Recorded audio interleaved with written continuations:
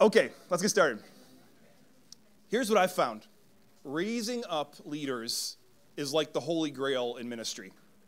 It's like this mysterious high goal that changes everything as a flood of powerful people get released into the things that I'm feeling called to as a leader and I'm feeling called to as a pastor. And when I imagine that idea of I'm raising up leaders enough that people are coming alongside me, and what I'm doing, it's so inspiring and feels just out of reach that, you know, you pack out a workshop like this. Even coming to this conference, when God grafted me into this Radiant network, one of the things that struck me is I would meet the different pastors in the network. So many were leaders that Pastor Lee had raised up personally. I was the groups pastor at his church, and now I plan this church. I was the worship pastor at his church, now I plan this church. I was the administrative assistant at his church, and now I plan this church. I mean, these churches that have gotten started all over because of one man who knew how to raise up leaders. And so we read books on it, we attend workshops, we use new tools, we try new systems and ideas, we do whatever we can to try to learn the secret of actually raising up leaders. But I'm not sure what your experience is. It's one of these things that really is holy grail like, and it frequently feels kind of just out of my grasp as I'm reaching for it. When I was uh, finishing college, before I started in ministry, uh, I helped manage an ice cream truck company down in Virginia Beach, Virginia.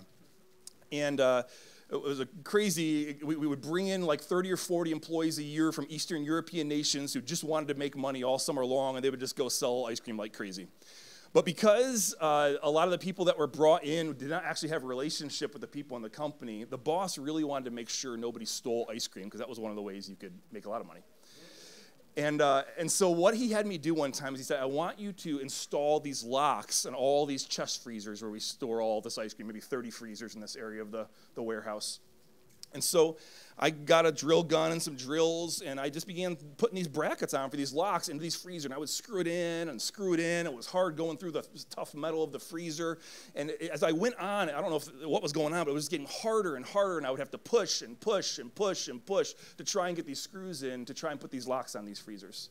And I got down to the very last freezer, number 30, and I'm putting this bracket in to this thing, and I cannot get the screw to go into the freezer. I am like pushing, pushing, pushing. There was a wall behind me. So I put my two feet up against the wall behind me. And I'm like leveraging my whole body to try and screw this one screw into this freezer. And all of a sudden it goes in and the freezer goes boom, boom, boom. And it begins to blow up like a balloon. The whole freezer does. Some, somehow I hit the freon line of it basically and it just went and just blew up the whole thing like a balloon. And so now I got to tell my boss I just exploded one of his freezers. And so I walked back to the office where he was. I'm like, hey, I got to show you something. And I brought him out, and I was like, I just was doing what you said, and I was screwing the things in right where you told me to, and, and this happened. The freezer's like, right in the middle of us. And he goes and he begins to inspect my work on the other freezers. And as he's doing it, he just starts shaking his head like this. And I'm like, this is not a good sign. And I go, what's wrong? And he said, you installed all the brackets backwards.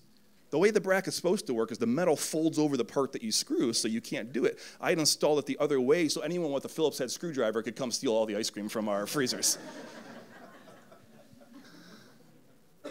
I did not understand the secret, and no matter how hard I pushed, no matter how hard I worked at it, I actually ended up causing more damage than good. And when it comes to trying to raise up leaders in the body of Christ, I can learn a hundred tips. I can master all the programs. I can try and get all the little things from three ring binders, like Pastor Lee was talking about today. But if I do not understand the secret, if I do not understand the essential reality of what God wants to do in that situation, it does not matter how hard I push, how much I work at it, how far I reach, or what the strain is, I actually will end up missing what God wants to do through me. And so, what I want to share with you today is the secret of raising up leaders, the secret of raising up the next generation that would multiply your ministry and the call of God on you. And I want to look today at the life of Paul and kind of really what I see as the turning point in his ministry, the season where he discovered the secret. And it happened in the winter that changed everything the winter of AD 52. You see, Paul had just finished his second missionary journey planting churches in Philippi and Thessalonica and Corinth, among other places. His personal ministry was becoming more and more effective. He'd already started eight or nine churches in major cities across the Roman Empire. And after visiting Jerusalem, he went back home to Antioch to spend the winter. He saw old friends, he rested. And what we see in how he changed things after this point, something began to happen during this winter. And it doesn't tell us exactly what happened in the scriptures, but I imagine during this time he was ruminating on his experiences of his last missionary journey, of all these churches that he planted. And he was thinking about how Barnabas had first brought him to Antioch and everything he had taught him. He was thinking about how John Mark had abandoned them on their first missionary journey together. He was thinking about how Barnabas had still wanted to take John Mark on that second journey, and Paul wanted no part of that and actually split up his partnership with Barnabas. I think he was thinking about this young man he met on his last trip, Timothy, and the way he'd invested in him and what he began to see. And as he ruminated on these things, God began to change something in Paul. He began to shift something in the way he viewed the world and the way he viewed ministry, and it literally changed everything for him. In fact, I think you could say it changed history. So I'd like to tell the story of what Paul did after that winter. The story comes from combining really the happenings we see in Acts chapter 19 and 20. If you have your Bibles with you, you might want to kind of flip open to that place. But I'm really combining some of the stuff there with things that he mentions in a bunch of his letters that he writes along the way to kind of tell the story. And so when the winter is over, Paul begins to walk out the plan that God had planted in his heart during that long winter of 52. And he left Antioch with this young disciple named Titus that he was bringing with him on his journey. So I'm going to show a map just to give a little picture kind of here of what happens. It'll pop up for us.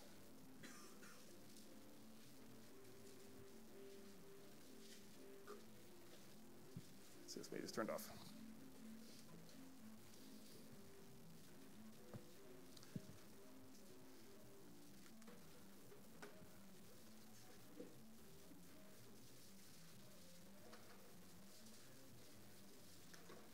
Okay, looks like TV's off. We'll skip that. So you're gonna have to imagine the map here, okay?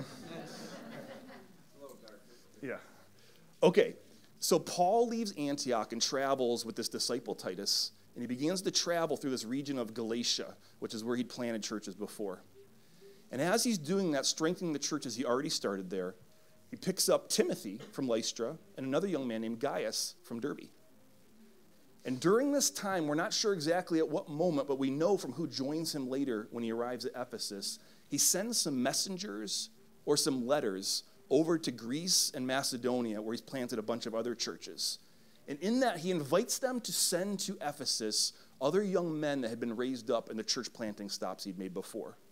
So a letter goes to Thessalonica, a messenger asking for them to send two promising young believers, Aristarchus and Secundus, to join him. Another letter goes to the Berean church, asking them to have a young man named Sopater meet him in Ephesus.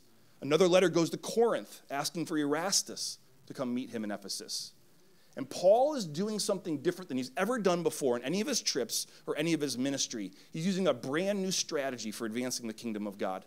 He's gathering the young men of potential from all the churches he has planted into one place at Ephesus. Men from different nations, cultures, and backgrounds are being gathered for something new. And so Paul travels through what's kind of the modern day nation of Turkey to get to Ephesus with Titus and Timothy and Gaius all traveling with him. And during those first few months that he's there, he begins to preach the gospel to start a new church in the city. Also, we know at this time he starts making tents in the mornings. And so he had left Aquila, Priscilla there on a trip before, and so they're a part of his team that's there. He finds 12 disciples from someone named Apollos who had preached a, maybe an incomplete gospel to them before. He leads them to full knowledge of Christ. They get filled with the Holy Spirit. And he spends three months preaching in the synagogue, and more people are coming to Christ, and the church is beginning to grow, and there's more and more disciples. But then the Jews begin to resist him in the synagogue, and he decides to leave, and he takes with him these disciples these young men and women who have gotten saved there in Ephesus, and those that came to join him from these other cities, they invited to come to this place. And they go and they began to meet daily in what was called the lecture hall of Tyrannus. It was a school that was in the city, and in the morning, this guy Tyrannus would teach whatever he taught in the school that he started. But Paul was able to use the building in the afternoon from about 11 a.m. to 4 p.m., while the rest of the city's all doing a siesta and napping and having their lunch break. He would gather these people there and he would begin to teach them and he began to train them. And we don't know exactly what he's doing during this time, but we can piece together some of it from the scriptures. We know he continues to make tents every day, it says, to support not only his needs, but also actually to support the needs of these disciples. It says he's gathering together with them daily from 11 to 4 to uh, disciple them and train them in the school of Tyrannus. It says they're reasoning together. And Paul begins modeling for them what apostolic ministry, what leadership looks like. We know he's casting out demons during this time and he's performing miracles. In fact, during this training period, is probably the height of the anointing that was on Paul's life over his entire ministry. This is the time you've read about before when literally he's praying over handkerchiefs and aprons and they're being brought to the sick people and they're being healed. A, a handkerchief he prays for would go to a person who was demon possessed and immediately they would be set free. I mean, he's operating at a level of spiritual power he'd never seen before and probably we've never seen in our lives. And at the end of those two years, Paul's disciples had gone out throughout that whole region, what was known as the province of Asia, or maybe the western half of modern day Turkey. And in two years, his disciples start more churches than Paul does in the whole rest of his ministry combined. And even more importantly, it says in those two years, the gospel is known, is preached to the whole province of Asia. It goes to every town, it goes to every city. This entire province, this really this nation, is reached with the gospel in just a two year period as these disciples are mobilized to go do it. The kingdom of God literally starts to transform a nation. And as we hear this story and kind of see this picture begin to develop, we ask ourselves, what happened? What did Paul change? What caused this turning point, this explosion of multiplication, this revival, really? This moment that raised up the leaders that would actually be the next generation leaders of the whole early church. And what I want to do is look at Acts chapter 19 and 20, where that story takes place, to look at four keys for raising up the next generation of leaders. In Acts 19, 11 to 12, like I, I told you before, it says this God was doing extraordinary miracles by the hands of Paul, so that even handkerchiefs or aprons that had touched his skin were carried away to the sick, and their diseases left them, and their evil spirits came out of them. And so, this incredible anointing has come on Paul in this season, where, unlike any other time of his ministry, there's just this incredible power of God that is flowing out from him. I mean, it's the stuff we talk about when we're talking about revival. It is happening here in Ephesus. And this power is flowing through him in a way that he's never experienced before. I mean, it's the stuff you really only see in Jesus through the whole New Testament. And this incredible ministry is happening and flowing from him to others. But at the same time, when Paul looks back and he describes what happens during the season in Acts chapter 20 as he's giving a speech to the elders of this church that got started in Ephesus. He says this in verse 34 You yourselves know that these hands ministered to my necessities and to those who were with me. And it's in the context of Paul saying, Nobody financially supported me during this time. Not only was I actually providing for my own financial needs, but I was selling enough tents that I provided for my own financial needs, and these nine young men that I brought with me to Ephesus, I was taking care of their needs as well. And so we see this picture develop where during these two years, every time Paul woke up in the morning, he needed to choose between two pieces of fabric a handkerchief or the rough burlap of a tent. There was a handkerchief there that he could pray over and have it touch his skin, and it would go out with incredible power that would bring him incredible acclaim and bring healing to people all across the city. Or he could choose to take the rough burlap of a tent and with callous fingers begin to work it over and over and over again. Probably getting up at four or five in the morning to be able to do this and sell it before he's going to go in the afternoon and meet with the disciples. And he would take this time to do this and work this tent so that he could provide for the financial needs for these other young people to go into full time ministry. And the report we have over this season is that Paul, again and again, chose tents.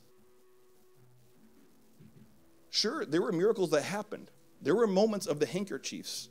But every day, he's getting up in the morning and he's taking six hours that he could be laying hands on handkerchiefs, and instead he's making tents. I mean, I think about myself. If I was in a stage of my ministry where I touch a handkerchief and it goes and brings healing to people, or I touch an apron and you take it immediately the demon is cast out of that person, I would have like a handkerchief assembly line working all around me, man. I'd have 10 disciples. Okay, you guys do like a fireman's brigade. Just kind of rub the thing on the back of my head. You know, while I'm writing a letter here to the other churches that I started, and we'll pass it on here. We're going to get this ministry happening. It's going to be multiplied. I, I mean, there's nobody like me literally on the earth right now. Things touch me, and then they touch other people, and they get healed. Like, like, like there's no one doing that. Peter ain't doing that right now. It's not happening in the other cities. It's not happening in other places. We need to seize this moment of anointing. We need to grab on to what God's doing in this moment. But instead, for two years, every morning, I choose your future over my present. I choose your opportunity over my glory. I choose you over me. Every afternoon, he could have gone out and won Ephesians to Christ. We know he can do it. He's done it in so many other cities already. He could have preached in the synagogue. He could have led people to Christ out in the city. But instead, every afternoon, instead of getting the impact himself and making the difference and having himself being lifted up, he meets with a few men in the school of Tyrannus, and he trains and he teaches them how to do it instead. Man, during this time, he could have traveled to the other major cities of Asia Minor, just like he had in Greece and Macedonia and Galatia before this. He could have secured his fame as the ultimate church planter of the early church, planting dozens of churches across this region too, just like he would do in the other places. Instead, he stayed in Ephesus and did not leave for these two years because he was looking at these young men and young women and saying, I choose your future over my present. And this is the first key to raising up leaders. And this really is the secret. This is the one thing that actually matters. I must choose tents over handkerchiefs. I must choose tents over handkerchiefs. I must choose your future over my present. I was on a phone call with a pastor in the network recently, and he was calling me to see if there was any young men in the, in the school that uh, they could hire for uh, ministry, being a youth pastor in their church. And uh, hey, Hal, would you check and see what's happening with the music here? It's very groovy behind me, but okay. It's, very, it's grooving, isn't it? I was talking to this leader who was looking for a young youth pastor to join his team. And he told me the story of how he got started in ministry. He was a young volunteer leader serving in his church. And his pastor came to him and said, I want to hire you to be the youth pastor in the church. There's just one problem the church doesn't have enough money to pay both of us. So I'm going to go bivocational that you can go into full time ministry. And as this pastor is sitting here telling me the story, and he says, Our church is still the same size. And so, now I'm making the decision. I want to hire a youth pastor in our church, a young person who would come in. And so I'm going to go bivocational. And this is the thing I'm talking about here. This is the perspective of Paul. This is choosing tents over handkerchiefs. I'm not consumed with maximizing my platform and my moment. Instead, I'm investing into your future. And so, what happened in that winter of 52 is not that Paul realized the importance of raising up the next generation. He already knew that. He'd had a front row seat to Barnabas raising him up. He'd gotten to invest in Timothy already. He knew the workings of it and how to do it. The secret that Paul discovered in the winter of 52 is this the price tag for raising up the next generation. And here's the reality of it the price tag is that I need to die.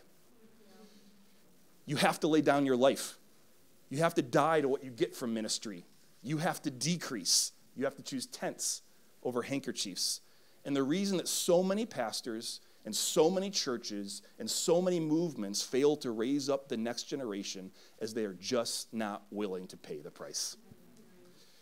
Unless a seed falls to the ground and dies, it remains alone. But if it dies, it will bear much fruit. Paul himself, up to this point, had not been willing to pay the price. He had looked that situation with John Mark right in the face and said, I want no part of this. But then he watched as Barnabas did pay the price. And I think it began to shift his thinking. As he invested in Timothy himself and saw the impact of what it would mean to raise up a next generation leader, it began to affect his thinking. And now he is coming to ministry with a totally different plan, not traveling all over the place himself, but building a base he's going to send other people out from because he has realized I'm going to choose tents over handkerchiefs. I'm going to choose their future over my present. What, what, do I mean you have to die? That's like a little extreme here, you know? Like, what are we talking about? What I mean is what John the Baptist was talking about when he looked at Jesus taking his praise, his acclaim from the ministry that he started, and he said, He must increase, I must decrease. We call it dying because decreasing is not fun. Okay? Nobody wants to decrease. Nobody wants our platform to shrink. Nobody wants myself to become smaller, myself to become less, myself to have less praise or less encouragement or less love from others. Nobody wants that. It is dying and very difficult to embrace that. But I must let go of what I internally get from ministry. I mean, I'm looking around this room, so many pastors, so many leaders that have sacrificed in so many ways to serve the kingdom of God, and you've laid down so much. But we have to be honest too. There's also some stuff we get from ministry, isn't there? You know, I, I need to let go of the, the love and the loyalty that I get from ministry. I can remember as we were planning churches among college students in China, one girl named Christine that got radically saved, and her family totally rejected her because of it kicked out of her own house, could not go home.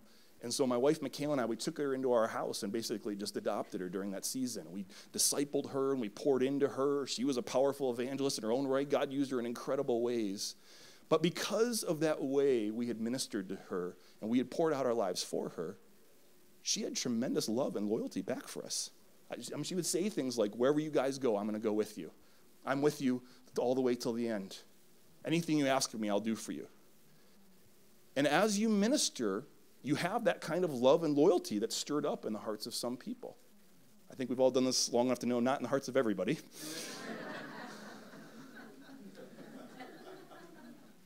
but in the hearts of some people. And that does something a little for you on the inside. I'm not sure. I, I like being loved. I like the feeling that someone feels so loyal to me, they'll run all the way to the end with me.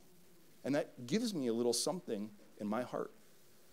But if I am not willing to die to that and lay that down, I actually, actually end up inadvertently becoming a brass ceiling on the growth of other leaders around me. Because here's what happens when I actually develop leaders, they start to get the love instead of me. I remember around the time our two daughters were born, we had about two and a half years we were not in China and we were back here in the States. And I had another leader I'd raised up who was leading the work in China. And we began to send all kinds of new missionaries over there that were joining young adults. And I would go over to visit the team, and I began to notice it wasn't really the same as it was before.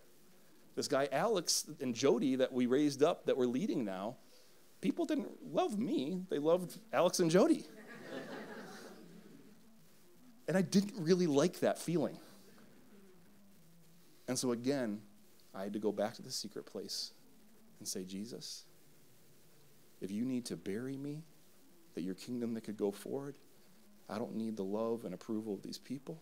I don't need glory for myself. I don't need my own ego to be stroked. Lord, raise up Alex and Jody, bless them, send them farther than I'll ever go myself. And he did. They're leading a whole denomination's missions movement right now. I mean, it's incredible. It's not just that love and loyalty, though. You get a certain amount of praise and recognition from being in ministry, too, don't you? Pastor, great sermon. That was, that was amazing. That was the best I ever heard, you know? And you have these kind of moments where you feel these things of kind of the praise and the affirmation of other people, and that's something that you get from ministry. And when that's taken away, it doesn't feel good. I remember about five years ago when our family moved back from China you know, we had worked so hard to raise up leaders that you know, hopefully could kind of just maybe barely fulfill the void that we left when, when we were gone, you know, and we knew it was not going to be the same as when we left. And, you know, of course it's not going to be as good, but, you know, like the kingdom can go forward still, you think. And I got back to the States, and within three weeks, the churches had grown to the largest they'd ever been.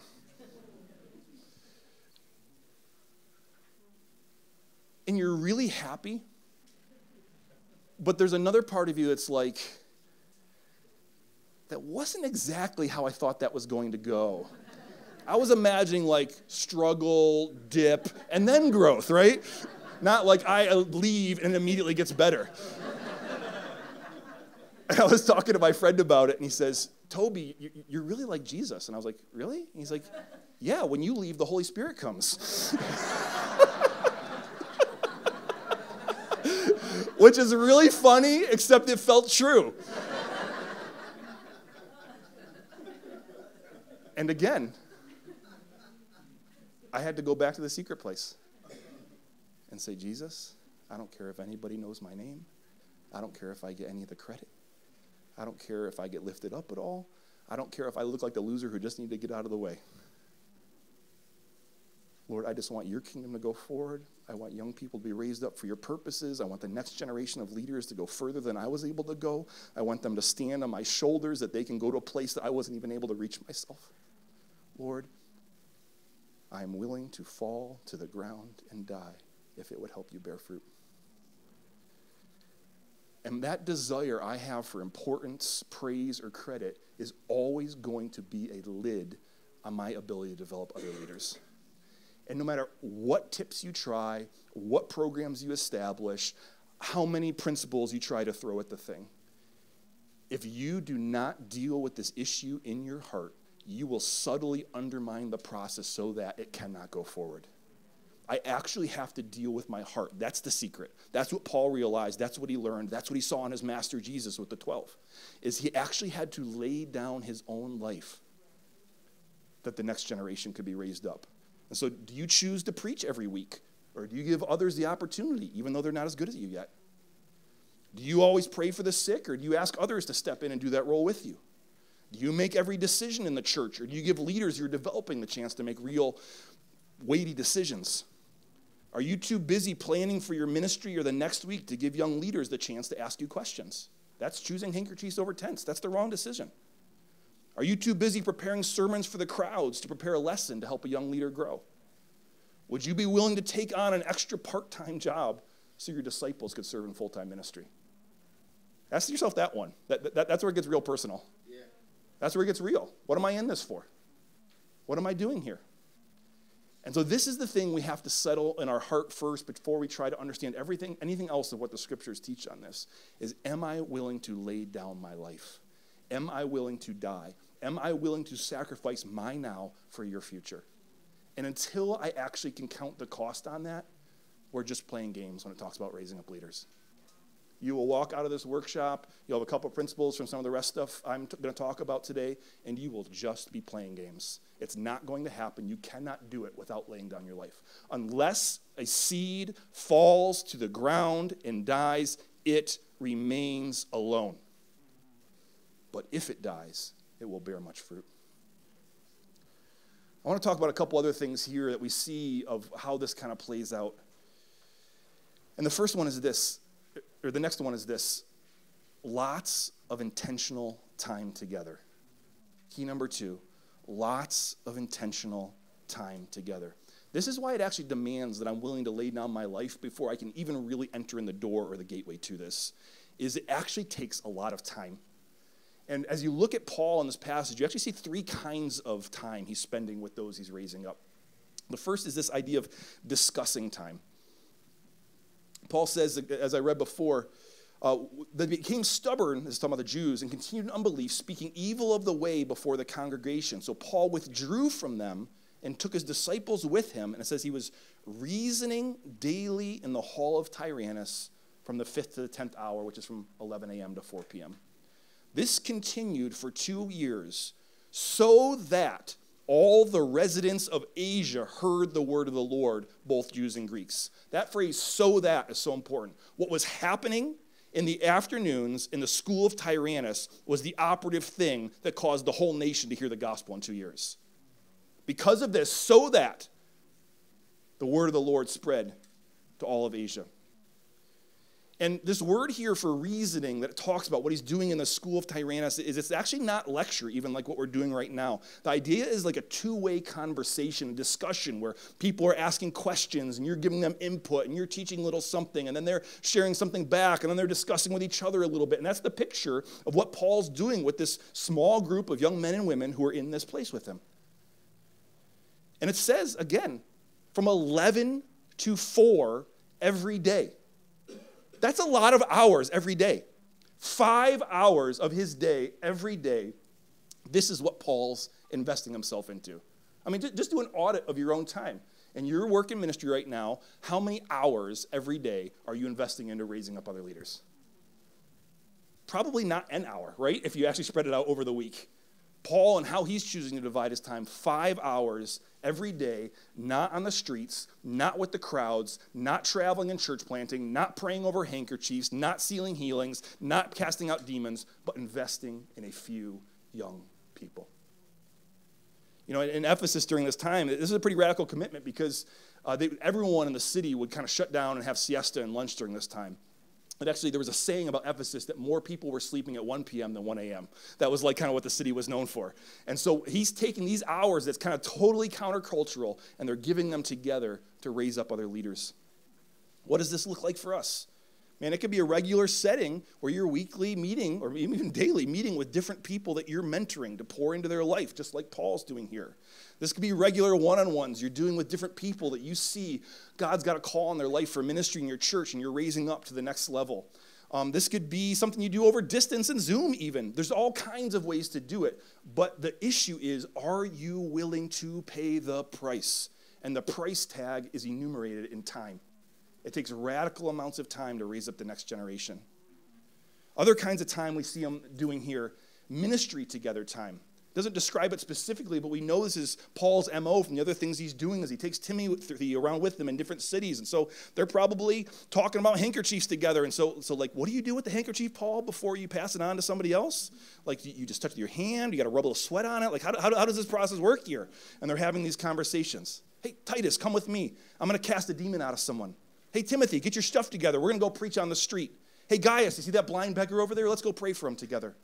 And they begin to start this process of doing ministry together. We see this in Jesus' example with his disciples. Jesus is not doing ministry alone, he brings his disciples with him on almost everything he does. And when I was really early in serving the Lord, probably 18 years old, something like that, there was a guy named Dave Allport who led a campus ministry and he would invite me to go along with him as he would go to different college campuses to preach the gospel and to minister to the different groups of this campus ministry. And I was so raw. I had no idea what I was doing. I had never preached. I just picked up guitar and could play like three chords on it and not good with terrible rhythm. That's like that's, that's where I was at at this stage. And he would bring me with him and he would lead worship a lot of times in these things. He'd say, Toby, you hold the guitar and just kind of stand behind me and play the three chords you know whenever it gets to that part in the song. And so I'm like, you know, That one.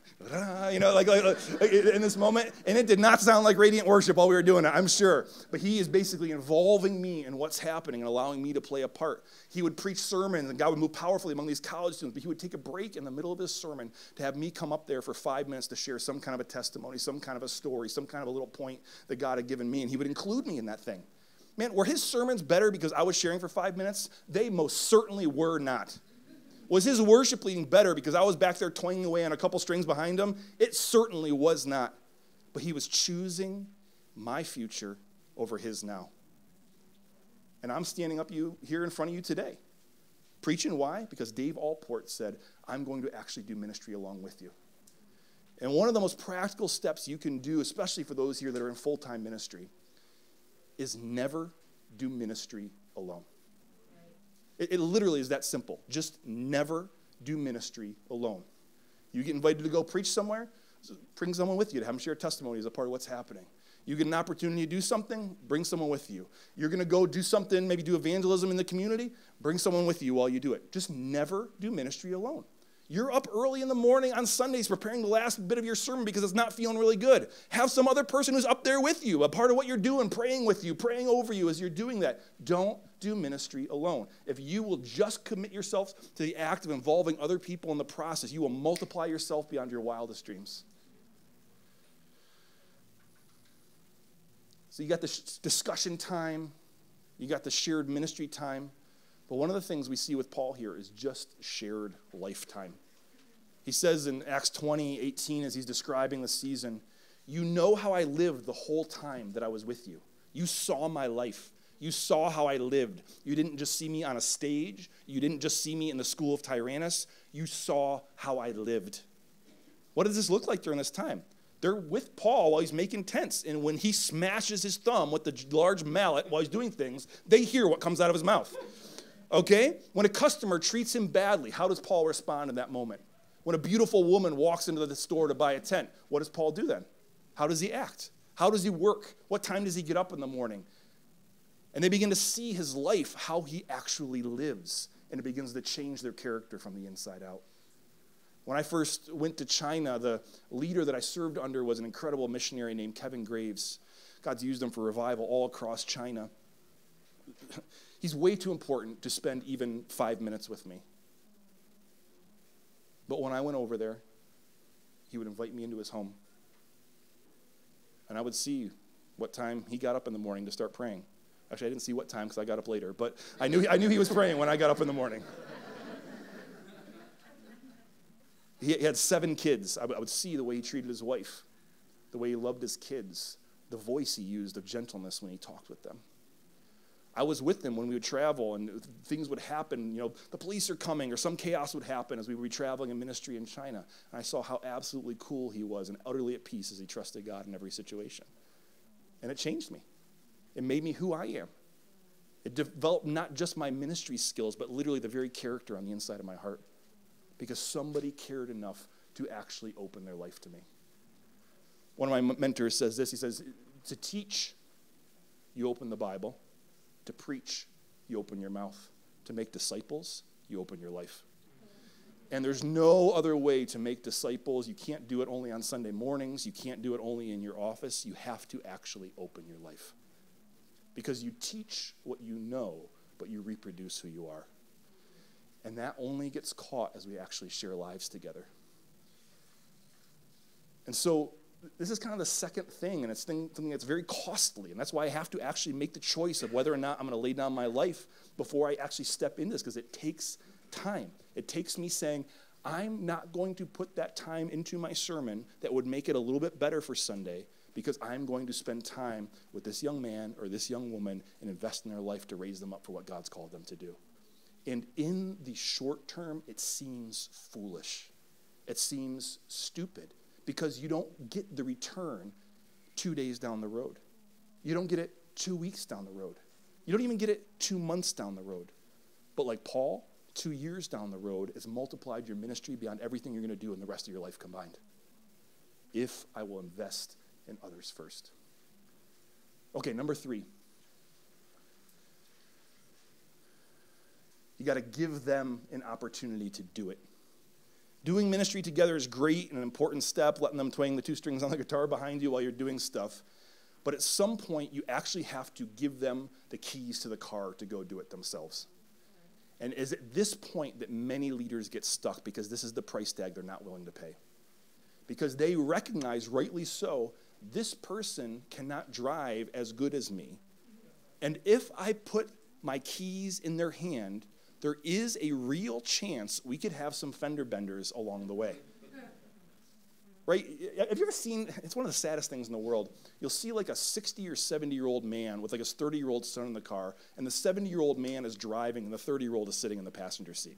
I think it's one of the most depressing thoughts ever. Somehow, that 70 year old who can't see anymore, whose reaction time has slowed down with age, is making the choice that basically, I'm still better than you, even though you're in my prime, your prime and I'm 70 years old physically. The, the blindness to fall into that trap is real, though. And we can do it in ministry too. And we can continually say, I am uh, we're going to teach you how to drive. We're going to go practice some parallel parking. We're going to do some K turns. Here's the, how the highway works. And here, here, here's you got to be careful for kids on this street and all these kinds of things. But there has to come a moment where you actually put the keys in their hand. And most people are afraid to do that.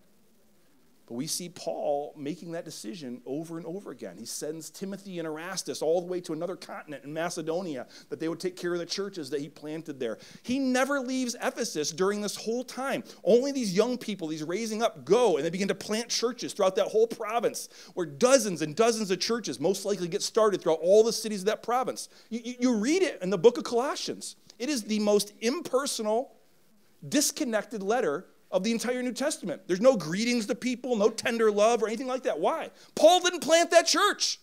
Someone else did. They didn't love him like they loved Erastus, who actually planted the church. He's passing on some theology, but the relationship's actually with Erastus. Paul just stayed in Ephesus the whole time while these guys go and start everything else.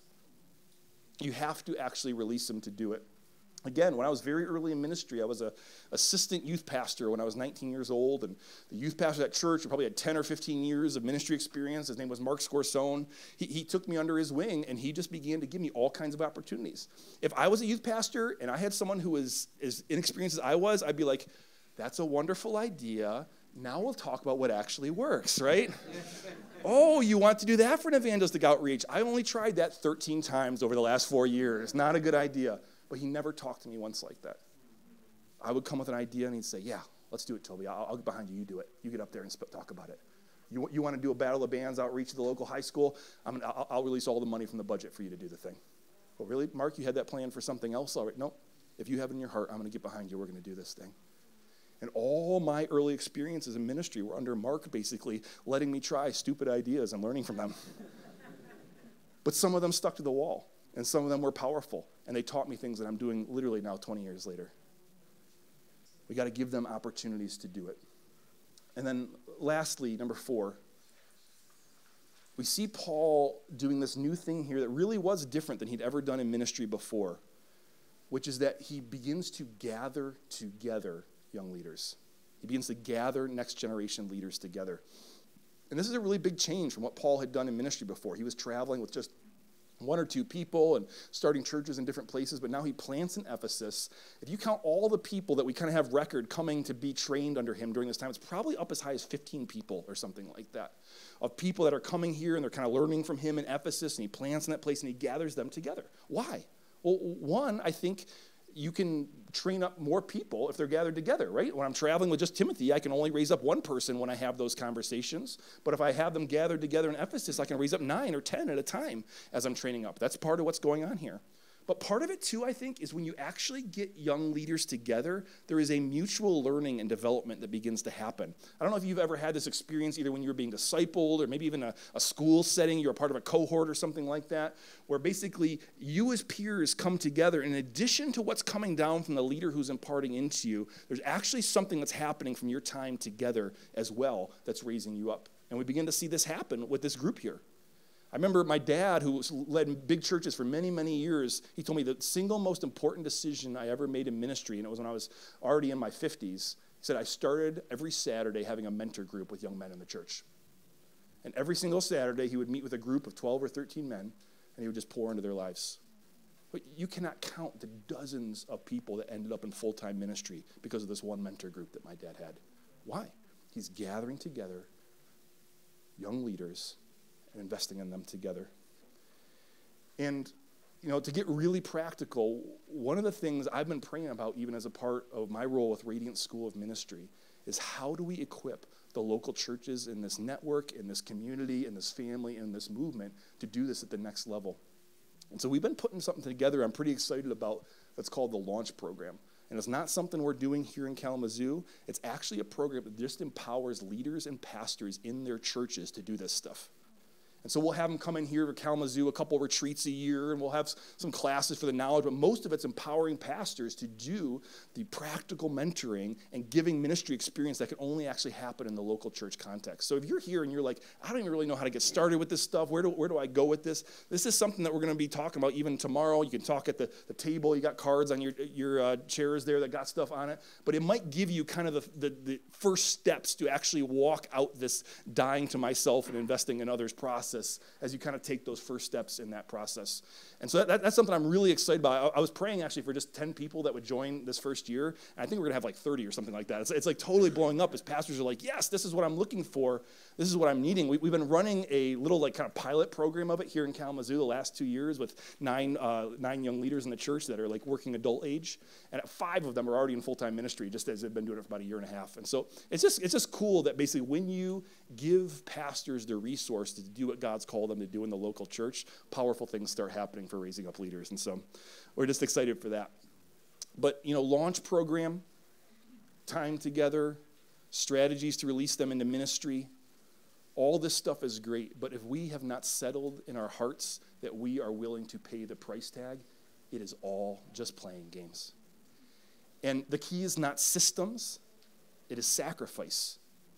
That's not curriculum, it's crucifixion. It's not laying down a plan, it's laying down your life. And I want to end our time here just kind of having a moment. You're probably not expecting this in a workshop, really, or whatever, but I just want to have a moment with us before the Holy Spirit. Just what I need to do is I need to settle in my heart in advance, just like Paul did during that winter in Antioch. I need to settle in my heart in advance how am I going to live my life?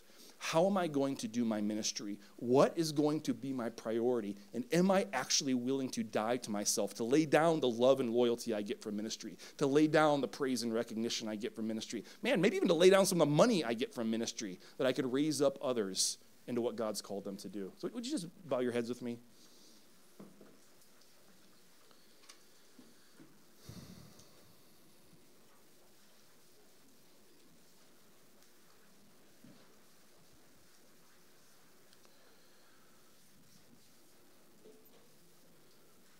Lord, when I just first began to see this picture in the pages of the scripture, I was like shot through the heart by an arrow as I just realized, Lord, all the little subtle ways that I was promoting myself, that I was keeping power in my own hands, and that for all the talk I had of being someone who's trying to raise up the next generation, I myself was actually the problem. I was the ceiling, I was the hurdle. I was the barrier. And Lord, as you're giving others of us today, Lord, just even that same picture, that same sense in our own hearts, that same revelation, Lord, we just ask you for help. Jesus, I just ask, would you help me deal with the things in my heart that would somehow get in the way of the fullness of your kingdom multiplying? Would you deal with the impurities in me that would somehow keep me from raising up the next generation.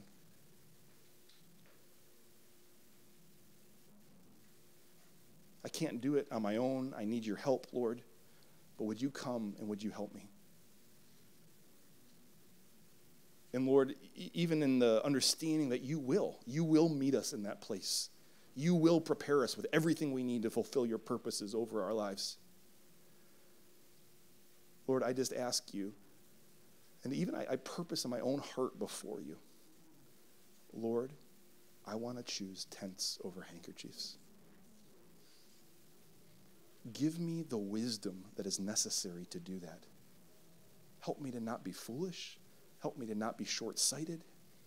I want to choose others' future over my present. And so, Lord, we just declare here, even as a group, I will be a seed. Lord, I give you permission to bury me. Stuff me down in the dirt. For me to decrease, that I would die, that there would be abundant fruit. Unless a seed falls to the ground and dies, it remains alone. Many of you actually feel alone in ministry right now. And the Lord would say the solution to that is not actually just a friend coming alongside you. One of the solutions to that is you have to die. Unless a seed falls to the ground and dies, it remains alone. But if it dies, it bears much fruit. Lord, you can bury me, you can kill me, You can crucify me, whatever you need to do, Lord, that your kingdom would be established, that you would grow your church, that you would grow your purposes in my life, that you would have the fruit you deserve, that you would receive the reward of your suffering. Lord, I step even in in a fresh way with you to your crucifixion today, Lord. I will die with you. I will be buried with you, that I can celebrate the life you want to bring together. And Lord, we feel the weight of it. We know we can't do it alone. So we go out from this place today expecting you to come alongside us, help us even deal with some of the junk in our heart, Lord, that I've had to deal with so many times over the years that I can fall through, Lord. I'm being a man or a woman that chooses tents over handkerchiefs. In your name we pray.